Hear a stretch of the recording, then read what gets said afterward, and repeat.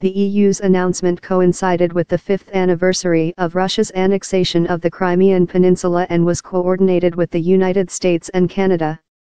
The two countries also introduced new sanctions. The Russian side will not leave this unfriendly action by the European Union unanswered, the Foreign Ministry said in a statement. The EU's claim that Russia broke international law and used unjustified force does not correspond with reality at all, the ministry said.